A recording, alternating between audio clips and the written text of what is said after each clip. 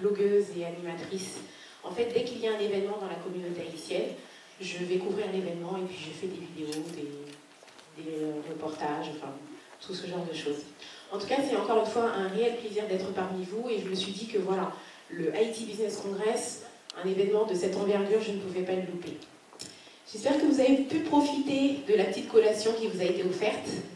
On a fait exprès de faire léger, hein, parce qu'on s'est dit que le programme était chargé. On ne voulait pas qu'après vous vous endormiez dès les premières interventions. Donc c'est pour ça.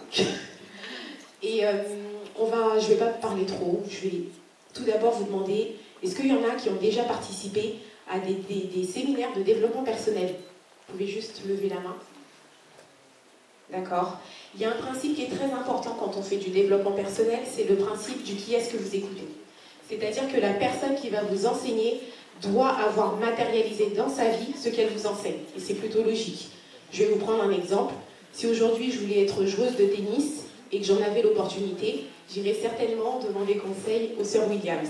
Si je voulais prendre des cours de chant, c'est pareil, j'irais m'entourer des meilleurs. Et bien aujourd'hui, si je voulais entreprendre dans mon pays d'origine, en l'occurrence Haïti, je... il y a une personne que j'irai voir certainement, et c'est la personne qui a organisé cet, événement. C'est Madame Junel Isidore. Je vais vous demander de m'aider à l'accueillir.